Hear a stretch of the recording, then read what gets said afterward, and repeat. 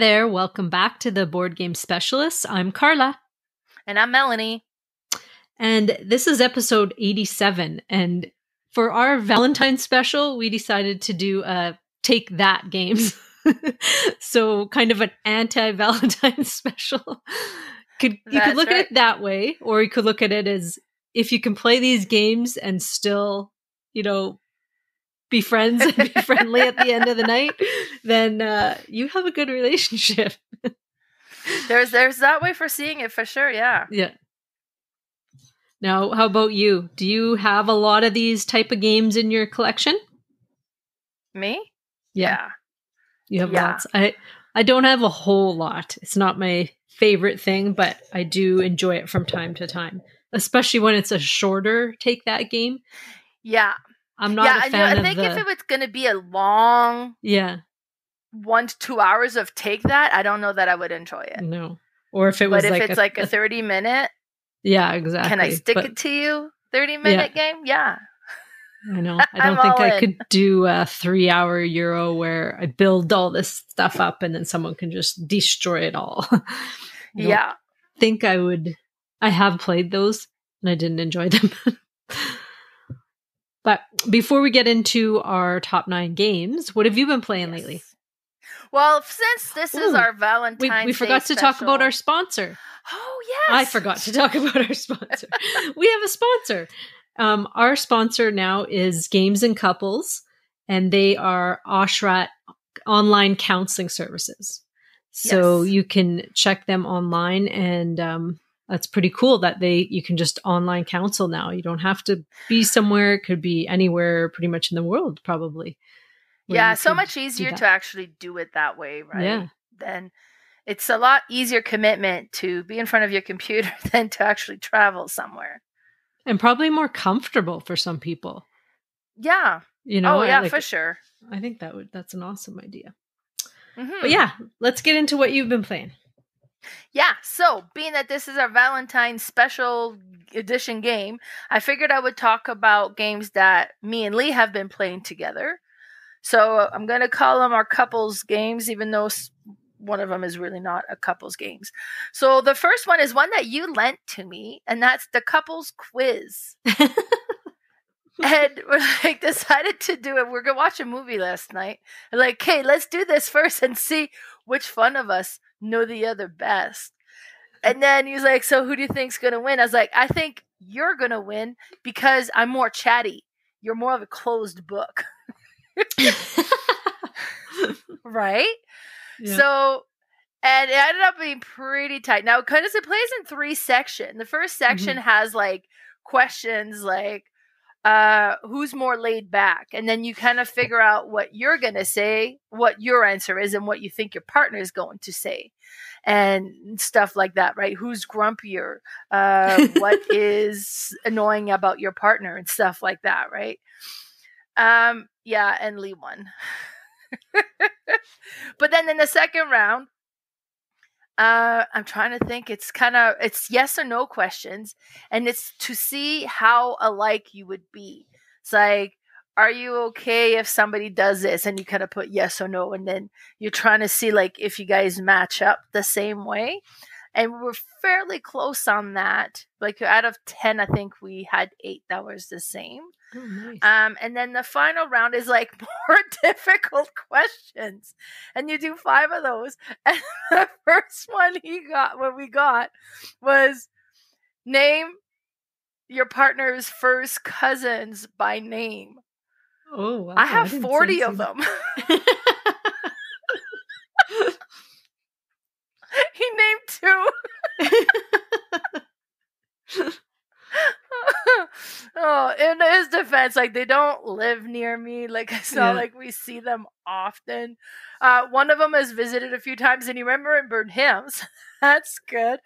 But Did you know all his cousins? you know what? Like, uh, b- if he tells me, "Oh, Trevor," oh yeah, Trevor is his cousin.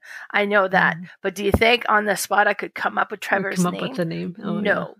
And I know there's Clay, and I don't know if those are it, but those are the only two I'm aware of. Hmm. So Yeah. we didn't get that question. We could probably name each other's though. I think.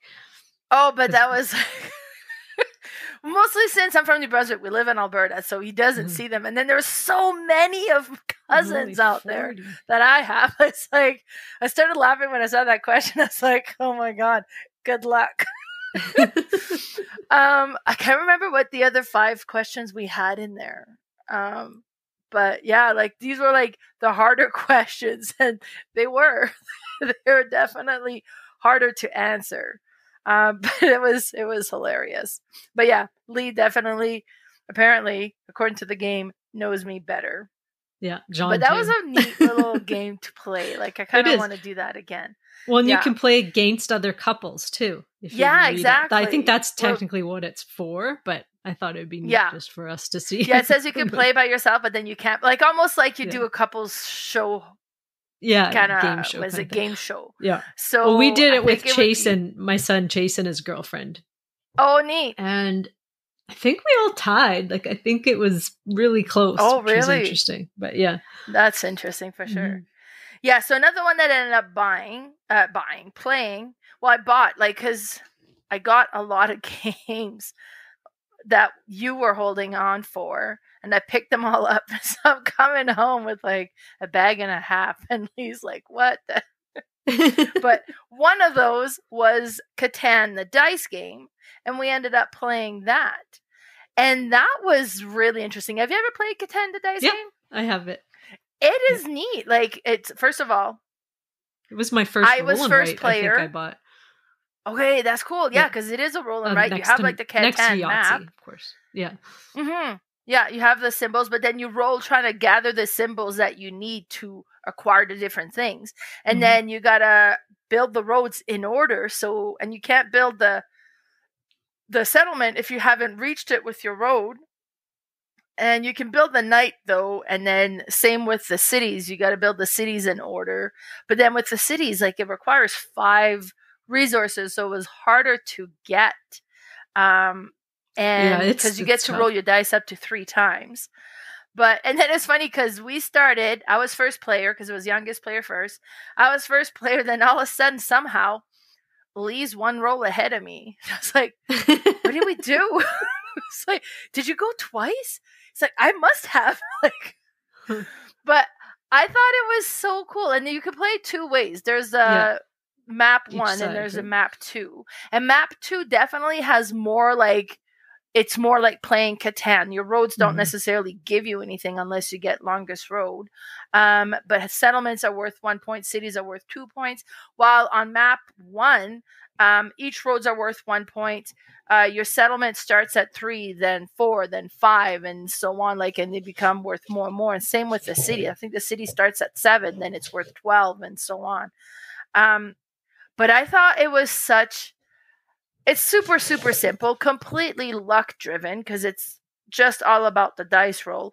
But it was so neat. It was so interesting just to roll, and then has that little Catan flair to it.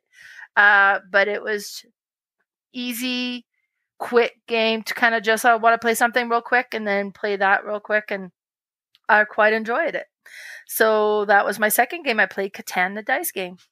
How about you? What have you been playing lately? Well, the first game I will talk about, I kind of um kind of mentioned stuff about it the last episode, but I didn't say what it was, and I got the Oh, game yes. and set it up and I played 20 hours of it. And this, this is Mythwind. That was my last weekend, actually 3 days. I cuz I was off Monday, so I played like almost 8 hours a day of this game. Nice. I would, you know, play a couple hours, go walk my dog, play a couple hours. We didn't have a games day. I didn't have one here, and I couldn't make it to the ones out of town that weekend. So I just kind of uh, had a weekend to myself. But this Nice. is such a cool game, and it's not even. It's more like a, a video game, I guess, like um, Stardew Valley or um, what's the other one, Animal Crossing kind of thing, where Right. You don't really win the game. You're just building up stuff and you know developing your farm or your city or however in those i haven't played those as video games. I've played stardew the board game. But this one is um, you are tr- you have five different characters in this game four in the base game and you either play as a farmer a crafter a ranger or a merchant. And then the expansion has an innkeeper. And each of those characters have a completely different mechanic. So you're kind of playing your own mini game.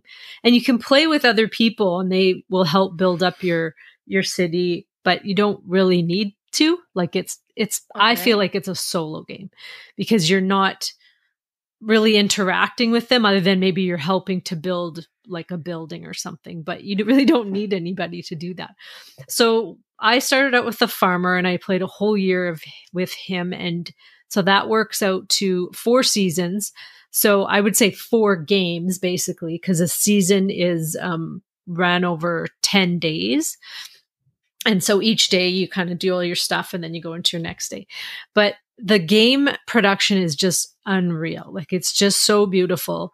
Um, I got the player mat the uh the little extra minis which i'm not a minis person but these are these like giant um sprite minis and uh, like mm. a fairy mini and they're just gorgeous I've, I've posted them on um discord the pictures and i'm sure you've seen it all over now it's all a, a lot of the content creators are um putting up videos for this but it's um so yeah you just go about your day and you do your own thing whereas the farmer has a polyomino um mechanic to his.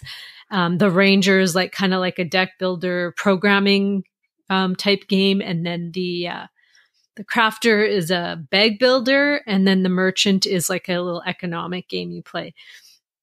It's so neat but it it's just sort of like an addicting thing because you'll play one season, then you're like, okay, I'll do one more season, and then switch up the character. Oh no, I'm because I had planned to do a season and then switch them all up, but I ended up doing a whole year with each character, and it just develops your town, and and then you know you move on and you kind of start fresh with this other one, and you develop your own character with these different traits and and um, skills and things like that. And it has no like, there's nothing you can't win. There's like goals that you can accomplish each season, but it really only just like kind of gives you more stuff to be able to build other things. Now, it's just the little story behind it because there's these events and you can go on adventures and and within those that's how a story is kind of told. And so this is my first real story game that I'm really into. I have tried above right. and below and I uh, I was kind of all right, I was just more about the mechanics back then and I just wanted to play the game. I didn't really want to hear anything about the story, but but now for solo play, this is just perfect because it's just kind of a chill game where um you can just sit back, do whatever you want, and there's no pressure to do anything. You could play for 20 minutes, walk away, you can play for an hour and the and it's not like one of those big campaign games where you have this big setup on the table and then you got to like take it all down.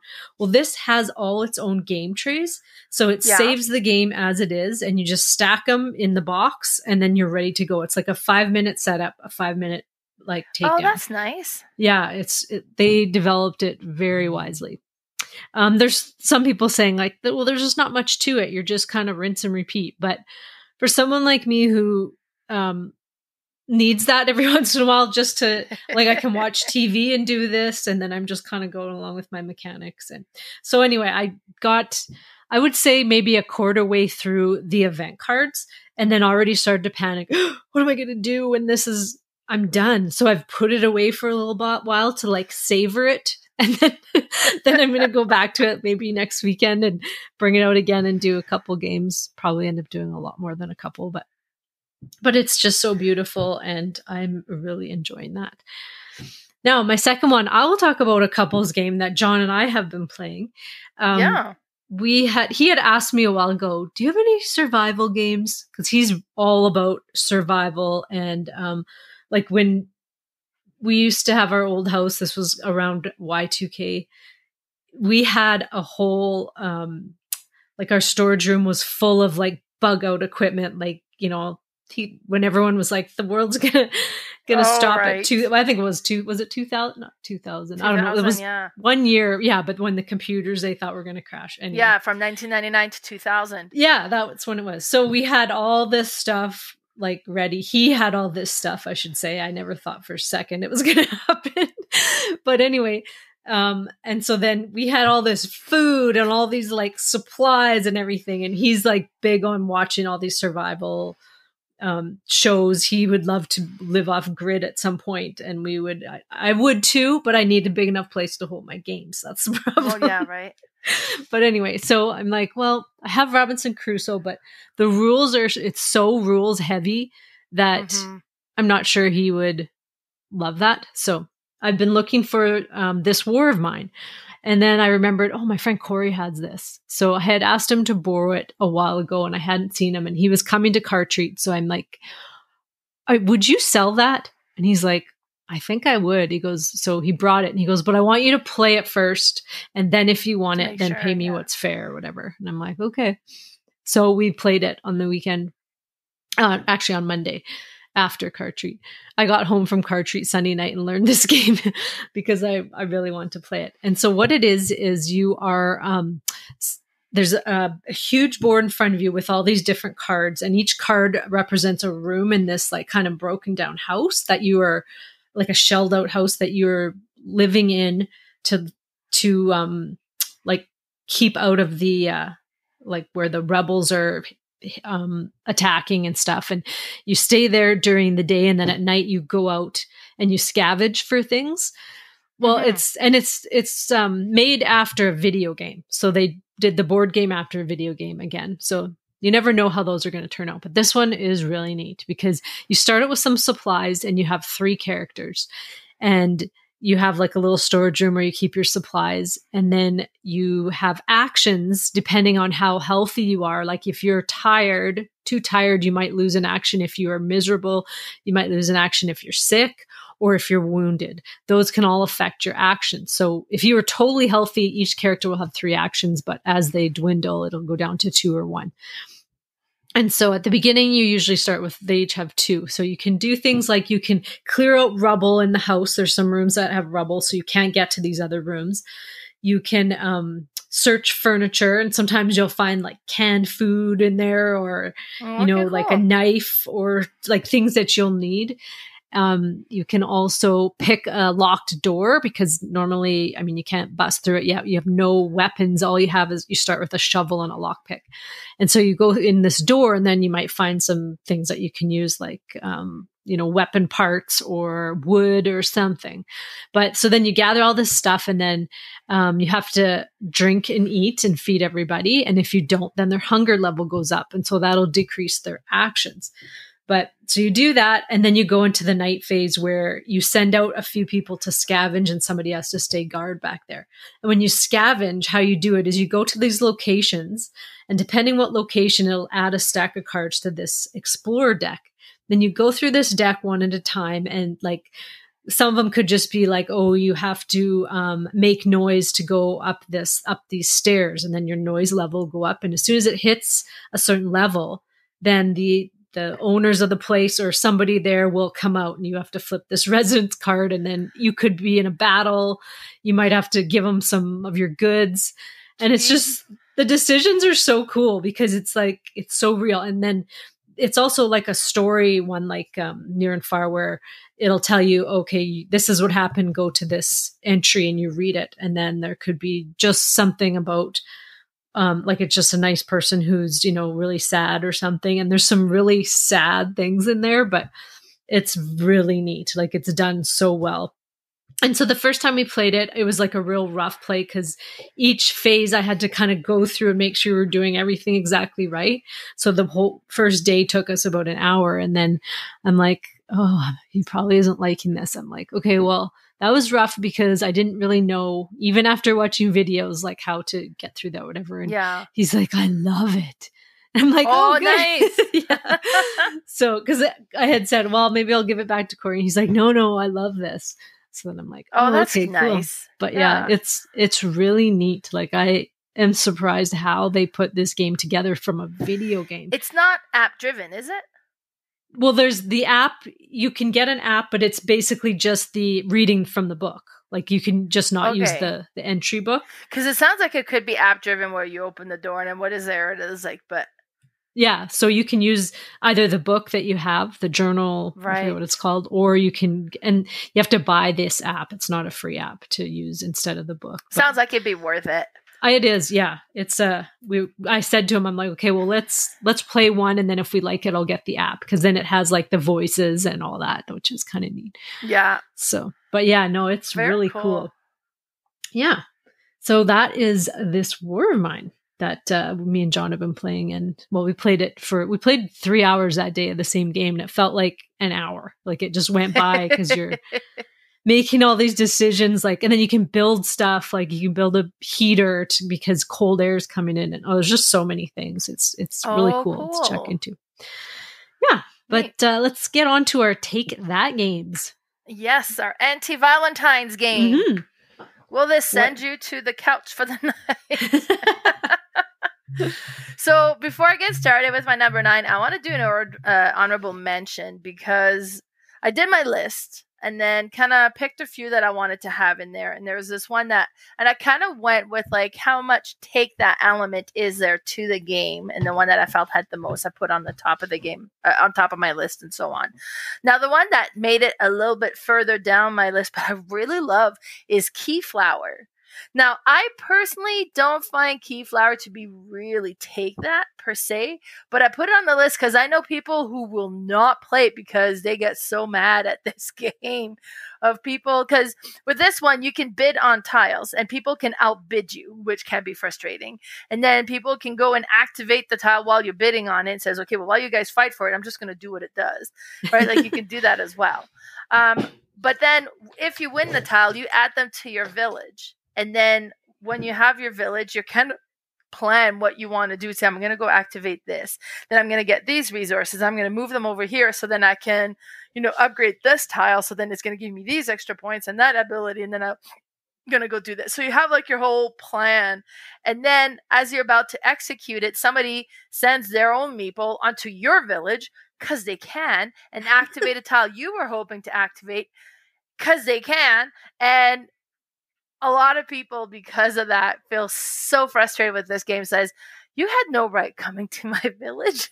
But it just feels more take that because you built this village. Like, this is supposed to be your village. Now, benefit of it, if they, if they come to your village, the meeple they use goes into your meeple um, pile because those are how you're going to be bidding on different things. But this is just one that I thought was worth mentioning because I do like it so much, uh, and it didn't make my top nine. Just because personally, I don't feel it's that take that, but Mhm. I know a lot of people have strong feelings that they feel it really does and will refuse to play it. So, how do you feel about that? Like on that aspect? well mine might be quite tame compared to some of yours you'll you'll see like there's some that are I really take that but but some of them might like not you specifically mel but some of the Yeah. listeners might chuckle at some of my take that versions But have you played Keyflower? we played it at do- one of the melcons Right. And do you consider it a take that game? um i didn't think of it but yeah now that you say it i would say it, it is Like it Like- can be. I guess it depends on how you Yeah. feel about it. As long as you go into the game knowing that that's it's happening yeah. available to everybody, yeah don't f- have a sense of ownership over it. You'll get the points, but yeah the action is available. But yeah, so Mm-hmm. yeah, so that was my honorable mention. But my number nine is a small card game, and I've got to say, most of the ones on my list are small card games. Oh. Um, but my number nine is Cover Your Assets, which was uh, published in 2011 by Brent and Jeffrey Beck. It's a Grandpa Beck game. And this one is, I, I like this one. You have cards and you draw cards and you're trying to create sets, uh, like two of a kind that you can put in front of you. And when you have your sets in front of you, those are your assets and they're worth points. So, and they have a value assigned to it as well. So maybe I have like two luxury cars. So now I have a luxury car in front of me, and that's my asset. And then, but on your turn, you can either add to your assets if you have a set, or you can use your cards if you have a matching. So let's say I put two luxury cars, and the next person also has a luxury car. They could use their luxury card to come and take mine and take away my asset. Mm-hmm. And be like, what? No, don't. Like, you can't take the first one because you can't be left with nothing. But as you stack stuff on top, they can take what's been stacked above. So if they take my luxury car, then I have the option of playing another luxury car, steal it back. Or there's gold and silver as well that can be used that way. They're wild. Uh, or I, I've lost it and then whatever asset I had below is now exposed as well. So it's good to kind of get more assets on top of each other because it kind of locks in what's below unless they become exposed again. Um, but this whole game is about trying to steal each other's assets and add it to your own pile so that you get more value and you steal it from the other people. So I find this one definitely has a strong take that element. Um, a lot of times when we play these games, my kids like Lily loves them. Jerome hates it. so it depends on where you are with these type of games. But this one is very simple to play. It is mean, um, but so fun. And that's my number nine. Cover your assets. Yeah, that's a good one. All right, my number nine is Board Royale, The Island. And this is made mm. in 2022, 2020 by Atakan Kanker, Tuna Pamir, and Murray Tanzer. Now, this one is a card game. It's um, all cards. You have a, a small board that you have places to set just um, certain cards, but you have this big hand of cards that is res- it's just resources, but it's also your life. So your life points, basically. If you have 10 cards in your hand, you have 10 life points.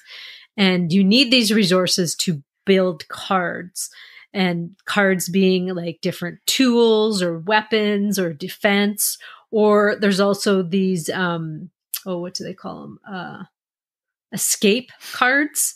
And if mm-hmm. you get a certain amount of points i think it's 10 points of these escape cards then you actually win the game. Very rarely will anybody ever let you get to that point because the cards you are building can help defend against people but can also attack people and meaning that you're taking cards from them or just um, making them remove cards or killing them altogether. Because if if somebody ever leaves the end of their turn with a few cards in their hand they are a sitting duck because somebody can easily just play a card that makes them remove resources from their hand. And if they're gone they are dead and all their resources and cards that are laid out in front of them belong to that person now this can be a five minute game or it can be a 20 minute game. I don't think it goes any longer than that because once you start um, killing off people, you get so powerful that nobody can really stop you unless there's yeah. two of you that are like that. But I've maybe played it about uh, six, seven times, and it it's always been a short game. There's it comes with a whole bunch of little expansions. I don't own this. My friend Cherry has this. You have it too, though, don't you, Mel? I haven't. I played it once before my friend had it. Oh, okay. But yeah, yeah it's it's copy. a it's a neat little game, and and I mean, going into it, you know that it's there like literally a take that from the point you start playing. There's, I mean, you can kind of make allies, but really nobody's going to keep their word on anything but it's just a neat little game with a whole bunch of little things you can add into it. And uh, that's Board Royale the island my number nine. Yeah i found that one was um i got so caught up in like oh i can accomplish this i can accomplish this. Oh great i accomplished all of this. Oh wait i only have two life left. Yeah like, and then got slaughtered and then they took all my stuff and then it was yeah. just i found like it was and then the people I played with love take that game, so they really kind of lay it on thick on the take that side. So I was like, oh, yeah. maybe this game is just too mm. mean for me. nice, but yeah, good choice. Definitely fits this list, I would say. Yeah. Okay, my number eight, I'm going to count that as a series, but I've picked a specific one from that series, and this is Fluxx, the board game. So, really, any card game of Fluxx would fit in it. But the board game was kind of a neat spin on it. Now we have a lot of Fluxx game. We actually enjoy it, like playing it with the family. It's always one that we're like, okay, yeah, we'll play. Um, and then with the Fluxx game, you have your cards and you're trying to put keepers in front of you, and you're trying to have a goal that's because the goal will be like if you have this keeper and this keeper, you win the game. So you're just trying to get the combination that matches the goal. And then it's like, oh, okay, great, I'm about to be able to win, but then they go and they change the goal, or they take your keeper, or they change where you have to discard down to one card, or like everything about this game is going to change. But at the beginning, it's just draw a card, uh, discard a card, and you activate it. So the board game version of it is instead of having keeper cards is you have this modular board the three by three modular board and you have to move your token to the location that is the icon you're trying to meet to resolve the the goal that is showing um, but then again you can mitigate where you can move the tile you can move the other players or you can reset them and change the goals and all that same chaotic fun is in there, but it's more of an area control where you're trying to get to that location. It's super cool. Plus, like the token, like one's a meeple, one's like a little uh like sorry token. Like there's a bunch of different player components that each player has their own, so they all look different. Um, I just like the look of it and then I like the play of it, but definitely he's like, okay, I'm about to get there. And then it's like, oh, that goal. Now hold on, that goal's gone. Now you got to do a different goal and you're nowhere near. And it's like, oh, so close. Or you're about to get there, and then all of a sudden it's like, oh, I'm playing this card that swaps us, and now I'm there and you're not. And it's like, oh, so so much of that happens in this game, but it's I I like it. And that's my number eight, Fluxx the board game, which was published in 2013, created by Andrew Looney by Looney Labs Game. Awesome. Well, my number eight is already a crossover. Oh. Cover your assets. I figured, yeah. Yeah. That one is such a good one. I like to get, as soon as I get that goal down, to cover it up with something else right away so that nobody can take that. But it's still mm. vulnerable because if somebody grabs what's on top, then that's open, right? So if you can get that down your first hand, because I believe nobody can steal until you have two groupings down or something like that. Yeah. So if you can get that one down first, then it's pretty safe. This one is such a fun game and there's always somebody who's lucky in it and just like gets fed all these just perfect cards and then someone who just gets nothing and no pairs and, but it's still funny and it's a quick game but i yeah. I just love it. And uh, it's such a unique um, mechanic to it how you know you, are collecting but you kind of want to keep some even though you're playing your collection but keep them in your hand in case somebody challenges you and then you can play it down yeah i love it my number eight cover your assets Good choice. And actually, it's funny. Before the episode, we were like, "How many crossovers do you think we have?" And we figure we're like one, maybe two, yeah. three at the most. So we got Very one down. Yeah. We'll have to see if we yeah. were close. All right, my number seven um, is Cutthroat Ninja. This one was published in 2020 by Ben McGill. This one is one that you can find on Amazon for mm. cheap, and it is fun. I love this one. And you go through these bad guys. So you're all like, each player has like our ninjas and you're trying to defeat these guys that are like bullying the village for some reason. Um, it could be that the tax collector that's taking too much tax or different things like that, right? So you flip over the villain and he has a certain value to it, and then you're playing your ninjas trying to defeat him and but it's you're adding to the board so you can add a ninja that'll do a specific single hit and it hits by that much but then you can create combos so if you have multiple ones it creates a combo where you can actually hit him by more or um, different things like that, right? Where it's like, or I'm playing one of these and one of these and one of these, and this creates this combo. Now I'm hitting him by this much. But you can also play cards that will steal the cards that are in other people's lineup because you add this as a lineup. Now, if you steal a card, you take what's at the end of their lineup, but then be like, ooh, I like that card you just played that. In fact, I think it would look really neat on my own. and then you add it to your own, so it adds to your combo. And then first one to defeat the villain then gets the villain, and then they get kind of those points. Then you go to the next villain and you start again.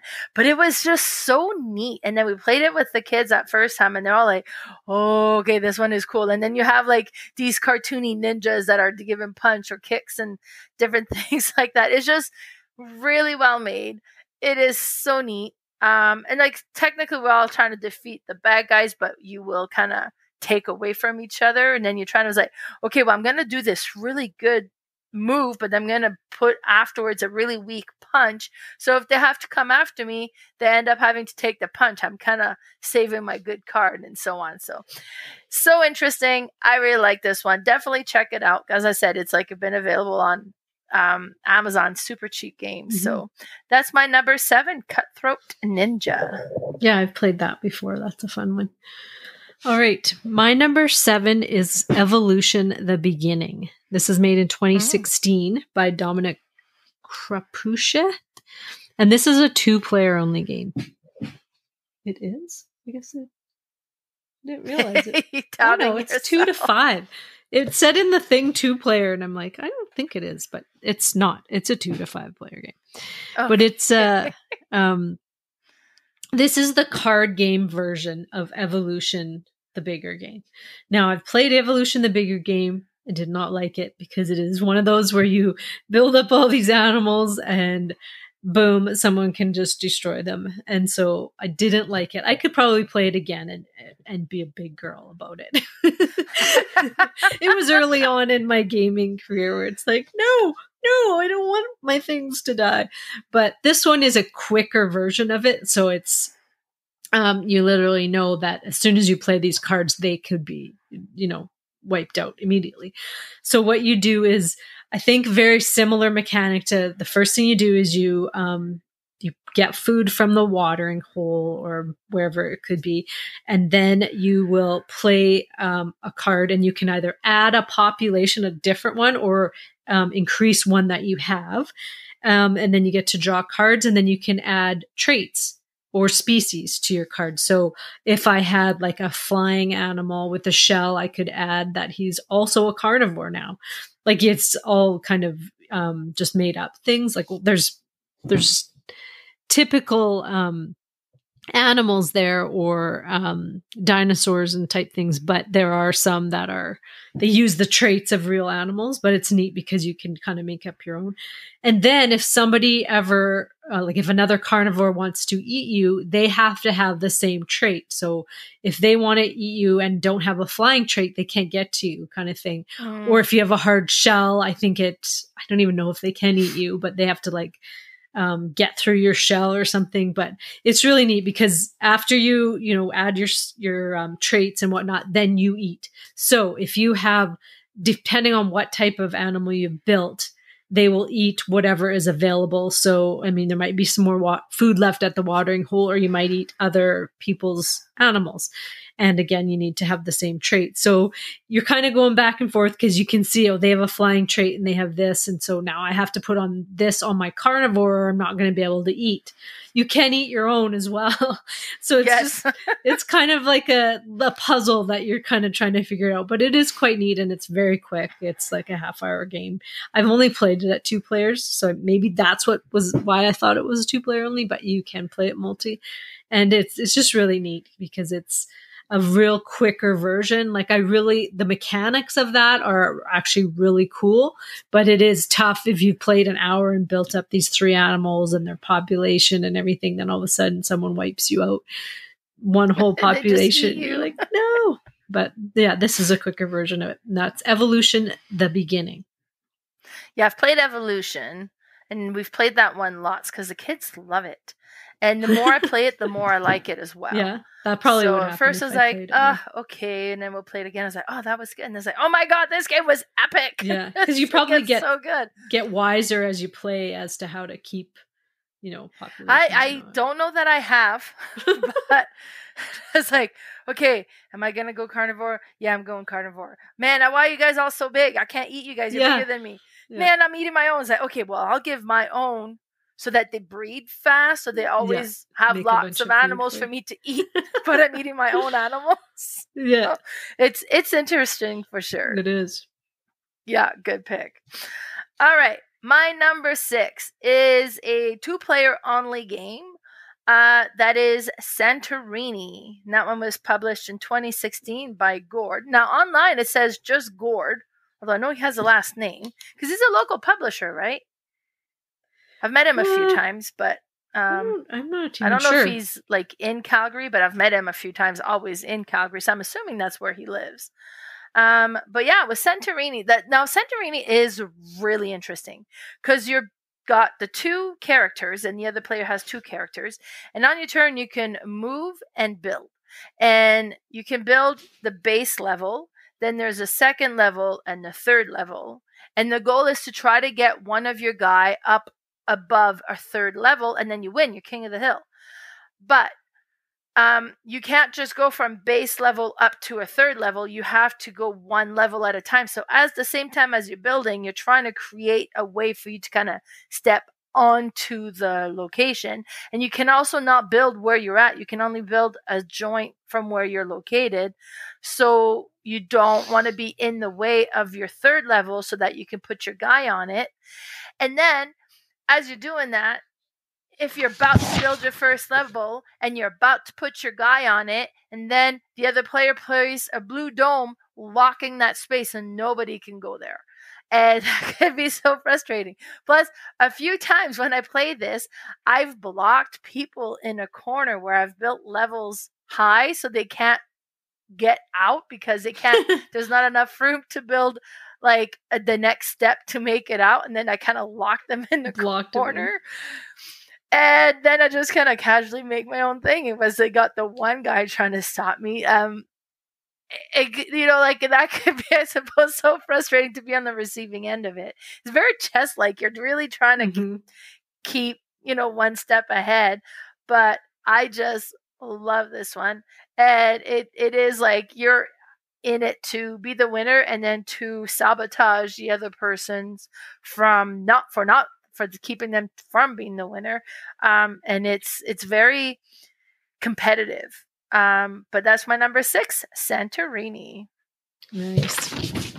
All right, my number six is also a two-player game, and this is for real. It's two players, and this is Crave, made in 2019 by Brian Sloan. Mm. Now, this is the equivalent to um, Hero Realms, or is it Space? Star no, Realms. Star Realms, right? Um, yeah. But it has a different theme to it. Well, I won't say equivalent. Uh, just a lot of people say that's what you would kind of compare it to for mechanic-wise. Yeah. Um, this one, you are either playing as a vampire or a vampire hunter. And the cards in this are like these big tarot card tarot cards, and they have like really cool hipster vampire art on them. And there's also two neutral factions. Um, oh, I can't remember what they're called, but like s- the Cynatars. That's not the word. I can't think of the word, but there's two different neutral factions that can help you or hinder you depending what you do. But you um, will play out your characters like you you each have your own deck and they are different, so they're not the same. And you will um, I get to play five cards, I believe, and depending what you do with them, you will either um, like play out a person or you might equip them with something. You might put out a guard that literally just guards things. Um, if you're a vampire you may put out a bloodsucker vampire and that is basically you know how you'll track health? Well the vampire needs to drink blood in order to increase his like re- get his health back whereas the vampire hunter just increases his health and i did find it harder to play as the vampire um, mm. You've tried it. Now I can't remember what you had. I had asked if you thought it was harder to play as that, but it's really neat because you um all some of them will also have like triumph points if they do end up killing someone they get an extra bonus or like um some that will die will get a bonus if they end up getting attacked and die. And it's just neat because all the cards and all the equipment and everything is so cool and they all kind of combo with each other.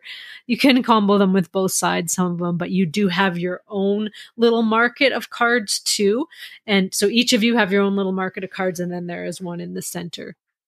And it's just a really neat game with like really gorgeous art, I find. But it's uh probably the first kind of dual deck builder that I've ever played. So that could be, you know, nostalgic for me. Whereas like I haven't tried any of the other ones, but it's really neat and I love it. And that's Crave, my number six. You haven't played Star Realms? No. I haven't. oh my god. I almost was tempted to get Hero Realms because I prefer fantasy over space. But yeah then when this came out, they said, "Oh, this is kind of the thing," and I'm like, "Oh, okay, I'll go for this because this." It one- has a very strong similar element for sure. Having played both, I can see that. Um, and I get mm-hmm. what you're saying. Like personally, I'm bigger into fantasy than space, and I had both, but I sold Hero Realms because for some reason yeah, you said the space. I just better. like the space one better. I don't know why it doesn't make sense, but it is what it is. All right, my number five is hilarious because it is so dark but comical. And that's Gloom. So, oh. Gloom was published in 2005, created by Keith Baker. And each player plays a family and you have your different family character cards and you can get into like the backstory of it right because you'll read like it have like a different description about it. And then on your card, you're going to be playing things in yourself, and then you're going to be playing cards on the other player's turns. And what you're trying to do is you're trying to depress your family as much as possible so that you get as much of a negative score as you can. And then when you have a nice low score, you kill them off. And at the end of the game is whoever has the most negative point is the winner. So you'll also have some like cheerful cards that you'll play on the other players. So maybe the other player plays the card says, "Oh, um, she was, you know, uh, dumped at the altar, and then the husband never showed up, so she's really upset over this, and she gets like negative two here and negative one here because these cards are see through."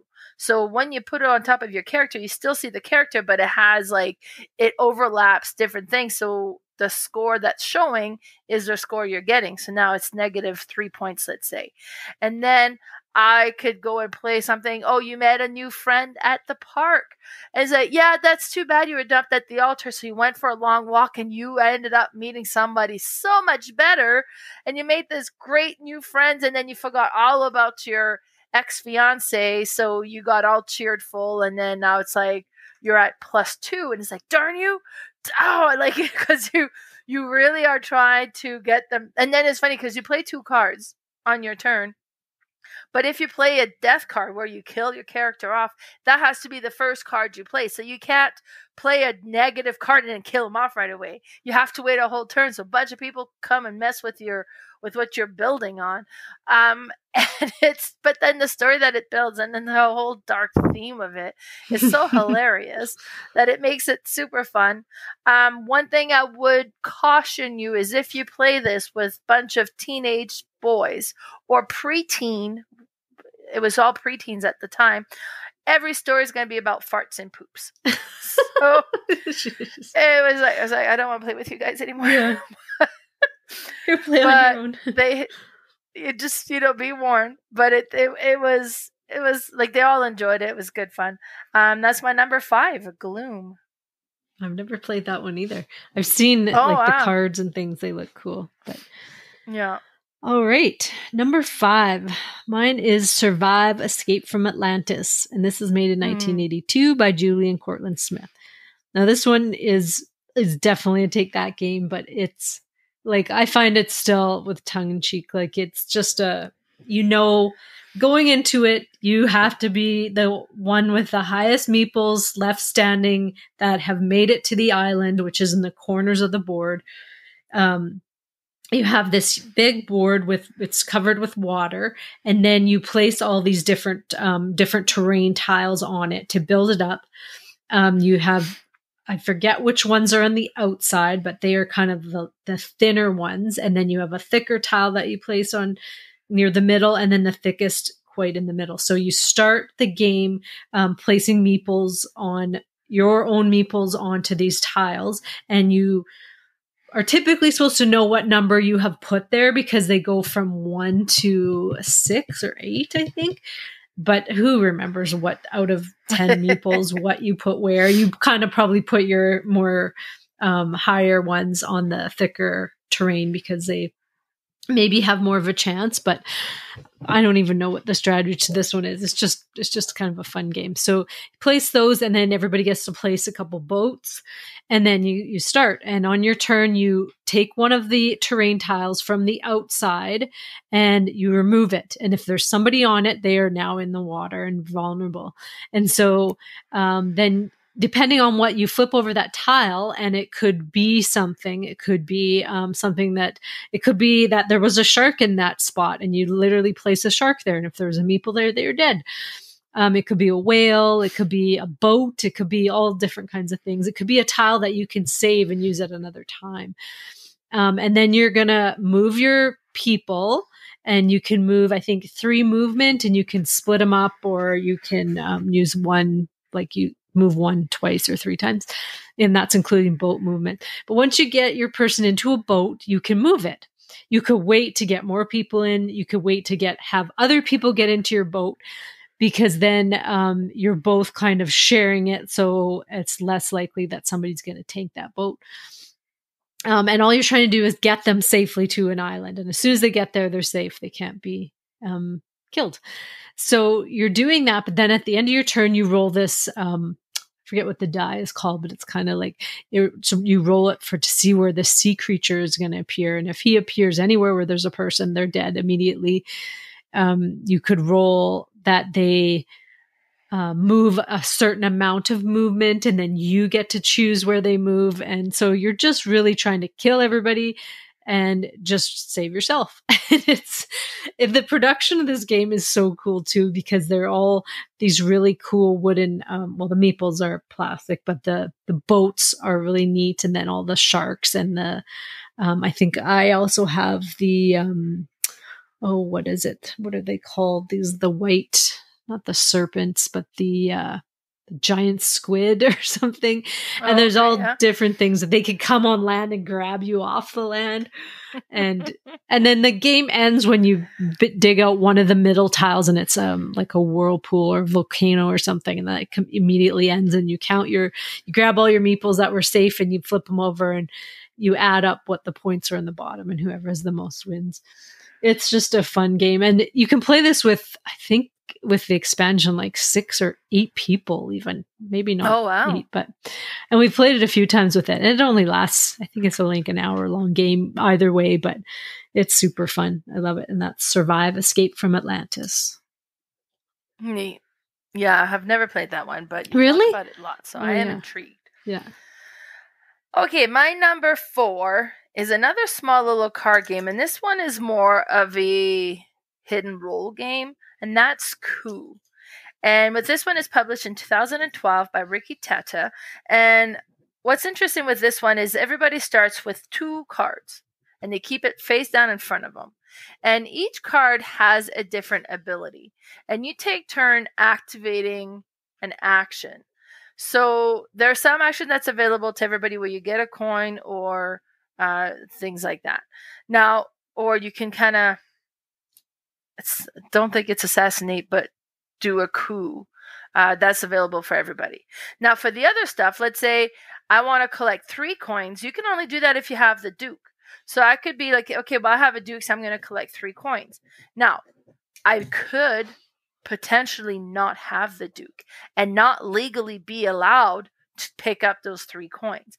Now, you can't stop me unless you're going to challenge that I'm lying. And one of two things can happen. Either I reveal that, yes, look, I did have a Duke, and there's, I think, three in the game, and then that gets discarded and I get a new card. And then because you were wrong, you lose one of your card. That's discarded. Now you're down to one card. Or you were correct. I can't reveal a Duke, so one of my card is discarded, and I'm down to one card. And this is like a one uh, last man standing. But then, as you're collecting coins as well, you can have uh, enough that be like, okay, well, I'm going to use my assassin to assassinate you. Um, now, I, do I have the assassin? We don't know. Now, there is one card that can block the assassin and you could be like, well, I'm blocking it with, uh, you know, my Contessa or whatever it is, and be like, huh, but do you really have the Contessa to stop my assassin? So one of us would have to challenge, and then so one of us is losing a card, right? And then if you reach enough coins, I can't remember if it's 10 or 12 coins or something, then you can coup. And then be like, hey, well, I'm going to do a coup on you, and you can't you can't block that you lose a card. And but it's so it's like it's like quit picking on me. It's yeah. like but it's so entertaining it is so neat. And this one we've played it lots. Nick i think has won every time he's played so far. Um and it's one that goes over well. Um that's my number four coup i think i played the second version of this avalon.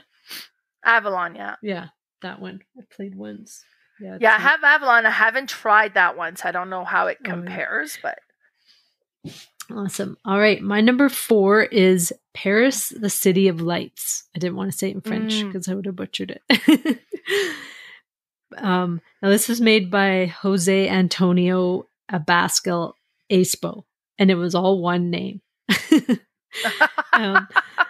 That's a big name, but it's made in 2019 too. Now this is a two player only game and I bought this game because it was so pretty. It was tiling and I thought it would just be a lovely day in the park playing Paris. And this is a mean game.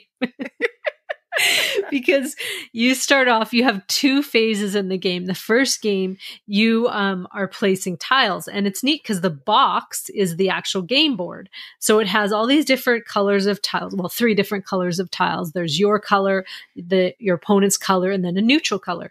And you are placing different tiles, or your tiles have those colors on them. So you're placing them in the city and you all go through that phase. But you can place a tile or you can grab a building. And um, you don't want to grab too many buildings because at the end of the game, if they are not placed on the board, they're worth negative points. So you kind of want to balance that, but you also want to put down the tiles as soon as possible because you're making your pattern of how you're going to place your buildings because your buildings have to go on your color or the neutral color or both. I mean, but they can't go on the other person's color. So they have their plan, you have your plan. It doesn't e- this isn't even the mean part, yeah, but it is still kind of mean because they can block you right there. But then you go into the next phase and you place your buildings. And how you want to place them is you want to be close to these um, street lights because those are going to be the multipliers of how you will score points, which are your tiles or buildings are connected to these street lights. And I find this so thinky that it's like, I, I'm sure I haven't even tried this with John yet. Um, I think I played it oh, with really? Cherry. I played it with Hannah, and I just can't wrap my brain around placing them, getting my buildings, and then also having them be near street lamps. So I've only played it a couple times, but I and Cherry didn't really like it because it was too mean. Um, I haven't played it again with Hannah, so I will have to try it with John. But it's it's just so neat how you can literally like destroy their whole plan because you have this plan of how you're going to put your building. Someone puts one right in the middle, and it screwed mm-hmm. the whole plan up. And you're like, oh. You also have these postcards that are these beautiful, like art, nice art on these postcards that you can use as special abilities or some of them can be used as a really neat blocker for the other person as well. I find it's like very chess like in like you really have to think of the offense and defense and what am I, you know, do I defend now or do I go for that building because I need it? But then they might put something here and it's just so interesting when I saw first would see this game kind of pop up. I'm like, oh, nice little tile laying game. And then I watched a video. I'm like, oh, that looks interesting. And I played it. And it was like, oh, this is really mean for me anyway, but I still like it. And uh, it's the mechanics are just so neat. And that's Paris, The City of Lights, my number four. Yes, that's a good one. I purchased that one recently from our friend John, and then me and Kayla played it Yeah. a few months ago, and it was so neat. And then yeah, Yeah. she totally placed a thing where she used the common color and blocked out what I was hoping to be able to put in there. But then I was able to get one of the special abilities that allowed me to put a, like a purple tile on something that gives me access to something else, which totally messed her up. And it, it was, yeah, it's It's very I- I tactical. think of that. you can't have a tactical. main plan because it's not going to happen. Yeah, I mean, like I think it could be like, I don't know. I'm just gonna wing it and see Yeah. what happens, and you could win or you could lose. yeah, But it's yeah, like and there's a lot to consider. It's like okay, well, don't want to grab too many buildings. She had grabbed too many buildings. Oh, Some of she? them didn't get to go, but then also positioning them with the the street lights and yeah, every very interesting. That one was cool. Yeah. All right, my number three is Downforce, and this one was published in 2017. It was created by Rob Daviau, Justin Jacobson, and Wolfgang Kramer. And this is a racing game, but what's really mean about this one is you'll be playing cards, and the cards is going to move a lot of different cars on the board. And some of them you own, some of them you own don't, but you do want your own car to win if you can, and you're going to be bidding on who you're hoping or think the winner's going to be. Um, so, but you can play these cards that'll move multiple different cards. And where the mean aspect comes in is like, okay, well, I'm going to play this one, which moves blue by five. Oh, but look at that. Blue's stuck behind red. That's too bad. you don't get to move at all. And then, because I'm not bidding on blue, it's not my car. I don't want blue to win. and blue's your card. And so you kind of now that you're blocked, I'm going to play all the big blue numbers, and now yellow moves, and they were by four, but oh, you're stuck as well. You only get to do two of those, and then red gets to move, and then he gets out of the way, and I find like that just naturally happened in this game where you were blocking each other because the board is a racetrack and it goes where it's three wides, four wides, and it's two wide, and then it's one wide, and then the cars gets in each other's way. Like it creates this really chaotic race, Mhm. which is so entertaining. But one is like, oh, I noticed that you're blocked behind the black one now, so okay, quick, play all the big green ones. And then it's it's hilarious, and it does like, oh man, like guys, I'm not gonna make it across the finish line now. it's like, and it, the game can change so quick, and it'd be like, great, I was bidding on blue this whole time. And now blue's like all the way in the back, and he's not gonna win. And now, he's- oh, it's like so. It is interesting. I quite enjoy this one, um, and that's my number three, Downforce. Yeah, I didn't even think of this one to put down on the list, but definitely you can screw people in this one so good, especially when you can move them and then they're like stuck somewhere and there's like Yeah, all the cars are ahead of them and there's no way they're going to get to move until they move all those other cars. It's neat. yeah. All right. My number three is Radlands, made in 2021 by Daniel Piechnick. And this one is also a two player only game. This one is definitely a take that game because you're just trying to destroy the other person's three camps. so Yes. you have, um, I don't have the player maps for this game. I've looked to buy Oh, them separate I wish I did. but I don't think I think you just have to get the the whole um deluxe version, which I may do one day when I can find it and then just sell my my little game. But the little game is really nice too because it had like the cards are still beautiful and everything. You just don't have the player mat which shows you exactly where to place everything. And so first of all what you do is you have a whole stack of camps that you choose 3 camps from, both of you, and you will place them at the back, so kind of right in front of you on the table. And then you have three spots in front of each camp, and that's how you protect them. Um, there's just empty spots right now, but until you play your cards, because it is a deck builder, you draw. I can't remember how many cards, but you you'll draw cards, and then you can either place these cards by paying the um, by paying water. Water is the currency in this game, and you always start with um, a certain amount of water. And so you can play these cards down. You can um, junk cards to use their ability on top. And then that is like one thing you can do. So sometimes it could um, cause an event to move up. And you also have these four slots. I think it is for events. And when you play an event mm. it'll say what slot to put it in. And depending where it is it might be at the back and it'll be a while before it, it uh, happens. Or it could be right at the front and it could happen right away in the next round possibly and what those do are usually like an attack and they will do something to the other person's camp. And if they have no protection on it, it takes a hit. And I don't think they you can kill them right away or destroy them. I think it has to take a few you damage hits. it first. Yeah, you damage destroy. it and then you do yeah. it. And normally I didn't like that the the whole damage and health and stuff, but it's so neat how you can play these cards and then um certain cards you can just activate as well and they will do an attack and damage. Um, if you don't have enough water you can flip over just like play the card face down and has a punk on it and he is worth one power or whatever. So if somebody comes to attack at least you have something protecting one of your camps if you haven't gotten someone to guard them. And it's just yeah. the art on it is so cool. It's like a 19 you know 90 like fluorescent pinks and purples mm-hmm. and and yellows and it's the art is just so neat. And it's it's also a quick game. Like i don't think i've played it longer than 30 minutes where no, it's happened. yeah, and quick. and it really does go back and forth. It's not like oh you got one of mine and you're pretty probably going to win. No because there's a lot of back and forth in this and it does come down to the last one sometimes. I mean sometimes you can get overpowered with some of the things you do but it's really neat. And I like this one. And that's my number three, Radlands.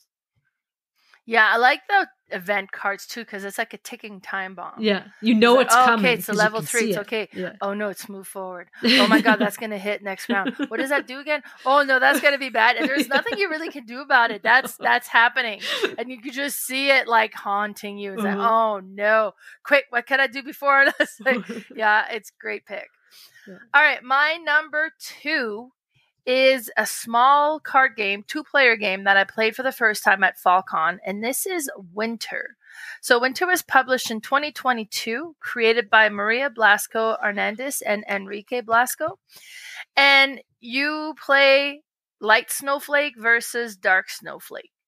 And you add tiles, I think they're tiles into this swing. And when you create a cluster, where there's four snowflakes of your own color together, you get to place one of your token in the middle of those. And if you're able to continue growing your cluster, then you get to add more tokens. But then at the same time, you're going to sabotage the other player Tw- uh, moving cards, removing card, making their tokens fall off. And the goal is to become the last player on the board. Um, and I lost every time. We've played like, I was like, okay, I want a rematch. Let's do it again. And then I lost again. I was like, okay, one more time. but it is a really quick game. It's super pretty with the little snowflakes mm-hmm. everywhere, and there's just a two tone snowflakes and the icon. It like to look at is like, oh, that's such a cute game, but it is mean yeah. and nasty. Um, and but it's it's really entertaining as well, and it's super super quick. I find I can take the mean if it's quickly. Yeah, it's over mm-hmm. quickly. Um, and this one does play super quick, and then afterwards, like, okay, I want to try that again. Let's go. but it's super neat that's my number two, Winter. Yeah, this is a cute game. And they have just come out with Autumn. So I'm curious to see. I haven't seen what it's like or what it, if it's yeah. a two player or what, but um, I have a video saved of it right now that um, I need to watch and see what it looks like. Because that is my favorite season, Autumn. All right. My number two is Mission Red Planet, made in 2005 and then remade in 2015 by Bruno Cathala and Bruno Faidutti. So this one is, it's an interesting game too, because you are um, putting these little alien, or not aliens, I guess you're, you're, um, uh, what do they call the people that fly? Astronauts. Astronauts? oh, those people in, in spaceships, and then you will ship them off at some point. But you have everybody has a hand of cards, which is, I believe, one to nine, and they all have different types of actions on them. And it's one of those ones where you will just choose a card, put it face down, that everybody, well, no, not everybody flips. You'll start the countdown. Um, you must start from nine and go count down to one, just like you would a spaceship. Okay. I thought it was one to nine, but anyway, so you count down, and whoever has the first one, they will flip them. If there is a tie, I forget how you do the tiebreaker, but whatever, you will play these cards and do the action, whether you're placing people in the spaceships or you're uh, moving a spaceship or doing all kinds of different things. But um, once that round is over, um, or once those actions are done, you will you have this planet, um, the red planet, obviously, it has all these different sections in it, and you will get to choose where the spaceship goes. So you're trying to area control this whole planet, basically, and so you want like you know the high point sections to be where you are but some of them you don't know what's happening because there are these discovery cards that one action will give you and you get to peek at this card and choose where to put it. So you could put a card down on like this valuable pla- um, piece of the planet where everybody is trying to get to but it's like going to blow everybody up or it's going to move everybody or everybody here is going to be worth negative. So you don't nobody else knows what is happening there but they might have a clue if you're putting it there and all of a sudden you're not going into that section or something. Um, there's a another one where you can banish people from the planet into this other like black hole or something. And the funny thing is, the second time I played the game, um, that was a strategy because I think I had a discovery card that made those worth positive points. So I was just kind of being a jerk and got everybody to kill me, but they didn't know that they were sending me to this I don't even know if it's called the black hole, but it's this area. And I was actually getting points off of all these these people. Um, I luckily I played it a second time because the first time I played it, I think I ended up with seven points, which is really low. And this was one of the games we had played on like a marathon, so it was like at three in the morning or something. So we were all just brain fried at the time. But after the game, I was like, I don't know if I liked that. like, I got seven points, but we ended up playing it again, and I, I did get how it could be fun because it's it like can be it's changes up so much depending on those discovery cards and um, the cards you play and what people are trying to do and where they're moving to and it's it's just a it's kind of a silly game but it's it's neat and it's i feel like it's almost like a party game. Like you play it in a party atmosphere. You can't take this game serious because everyone's just trying to screw everybody. It's not like you know you gang up on one person because you're just trying to get everybody to lose you know. But it's it's neat. And i don't own this game. Do you own this game? I own the first version of it but i haven't played it yet well, I don't think it's much different. I think they just remade yeah. it because it was out of print. Like I don't think it's yeah. It might have a little bit of art difference, but I don't think there's much difference in gameplay. But yeah, we'll have to play it with a big group sometime because it would be yeah. Maybe we'll have to bring it to Gobfest and play it at night or something. yeah. maybe maybe before night. Yeah. Yeah. okay, now that we're all brain dead, let's do this. Yeah. You didn't learn. yeah. Well, I, we won't be up till three in the morning though. We could play it at like nine. I think we'd be okay. oh, okay, okay. anyway, that's my number two mission Red Planet. Nice. So we're on my number one, and this one, when that was when we said, okay, we're gonna do like an anti-Valentine, take that list. This was the first one that came to mind. I knew this one was on my list, and that's mm. Stick 'em. Stick 'em was published in 1993, created by Klaus uh, Palesch, and it's it's a trick taking game. But what's really neat with this one is you have like the different colored suits, um, and at the start of the game, you're going to get your hand and you're going to look at what you got, and you got to pick a pain card and you're going to take that card and it all gets revealed in front of you. So we can all see what we've picked as our pain card. And those are the points that if we collect any of them they're going to score negative points kind of like hearts. So if you end up with hearts they're negative points. But we're all going to have different. Now it's possible we've picked the same thing and we're both trying to avoid the same thing. But then as you play the trick taking game I'll start and I'll play a certain colored card And then if everybody plays that same colored card, whoever played the highest card wins that trick and then you take them. Now, if people played different colored cards, then whatever other color is that's not the lead card is the suit. So if I play started with a yellow, then anything that's not a yellow is going to win the trick, and then whatever's the highest of those non-yellow cards wins the trick. So I could play. I start with the yellow, then somebody puts in a blue. Now, so the blue is is winning the lead. So I know guarantee yellow is not going to win. Uh, and then somebody who's playing and says, "Oh, well, they're about to win this trick. So I'm going to put in green, which is their pain color, because you're trying to sneak it in a way so that they have to collect a color they really don't want to collect, because then that's going to total as negative points. And that's what the whole game is called, right? Stick them. I'm going to stick you with this, and it's going to suck. And it is it is mean. Like that's the whole point of the game. Is like, okay, how can I get you? Take the cards you don't want, and you're trying to. And then sometimes like, oh no, oh no, I'm taking three. Oh no, like, but it's so neat. And then Lily, this is when we played this one, she loved it. And I was like, that's when I realized, like, she likes those. She seems games. to like them, yeah. Yeah. So, but this is a really like you if you like trick taking game, it's a no brainer. This is a great trick taking game. And then with that whole pain color portion to it, just kind of adds so much interest to it that it's just an amazing game. So that's my number one, Stick'em. Yeah, that is a good one. I totally forgot that game in this list. I through all my games and just kind of scoured the card games, but yeah, I didn't, Look at this one. That's a good one. All right.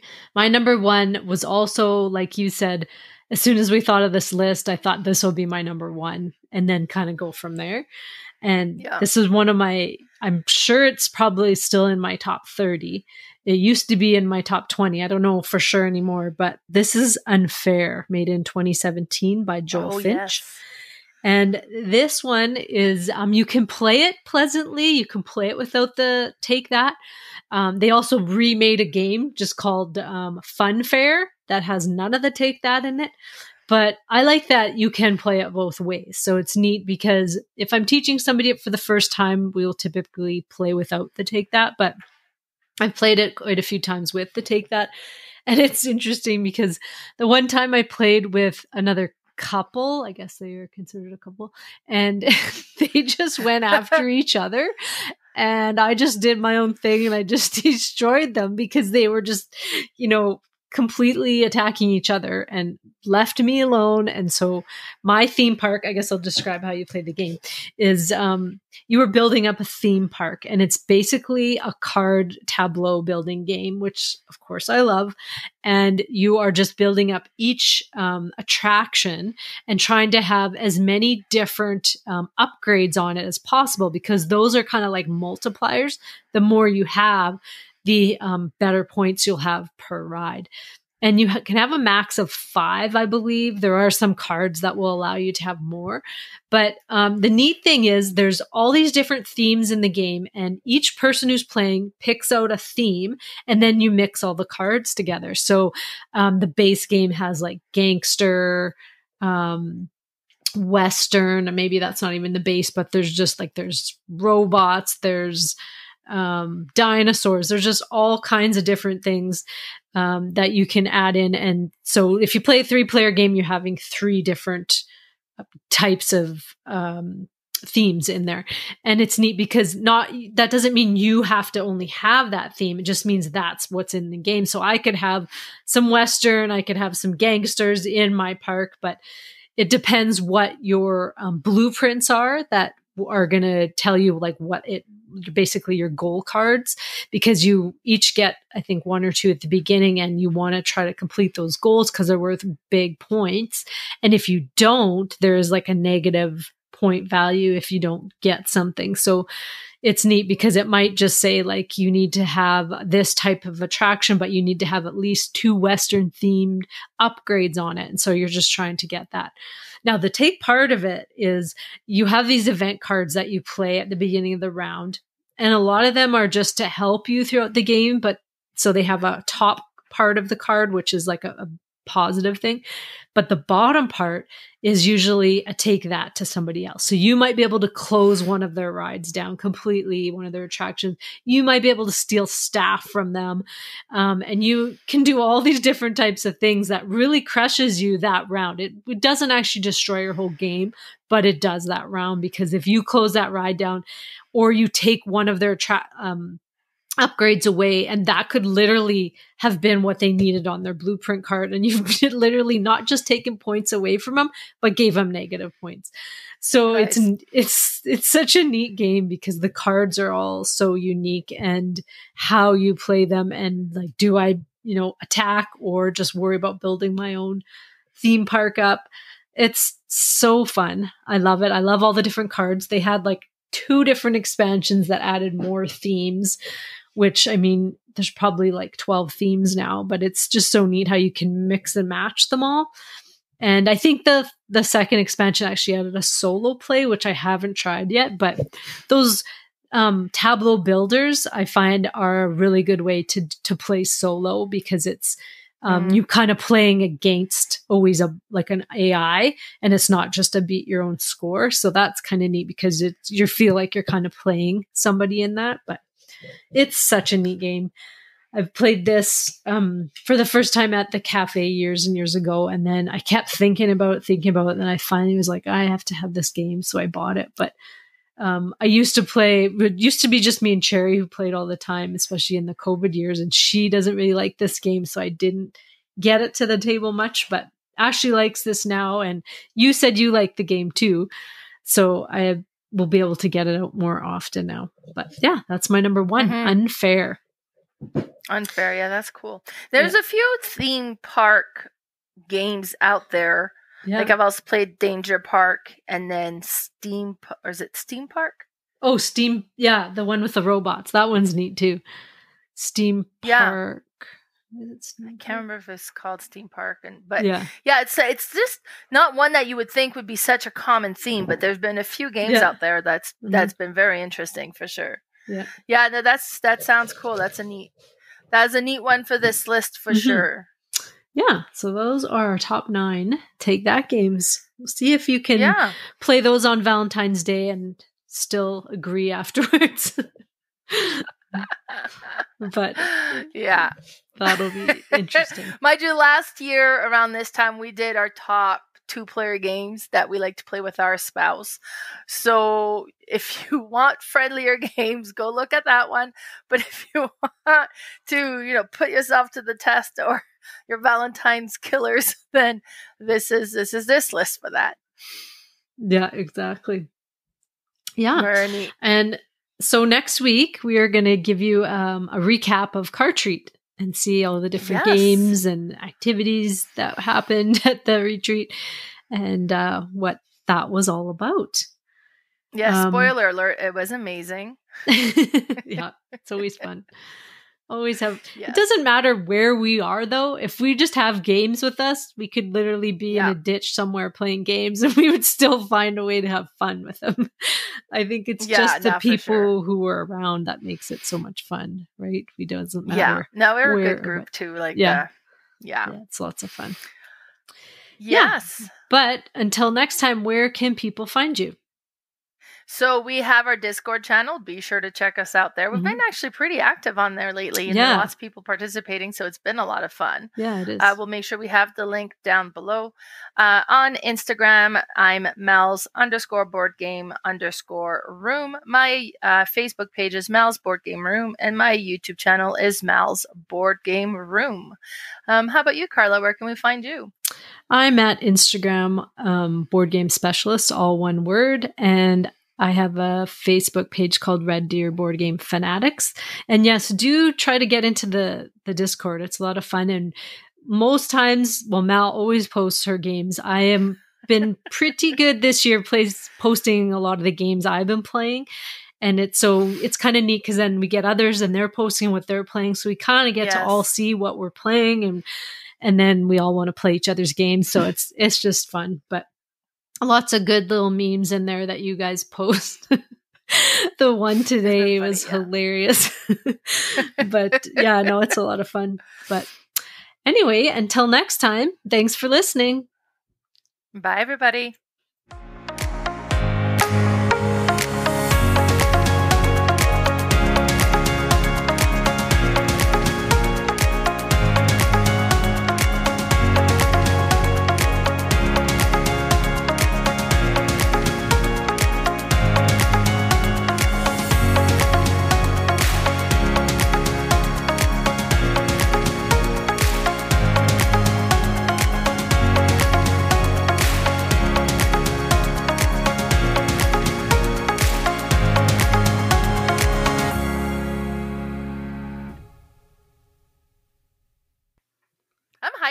I don't know if it's because worms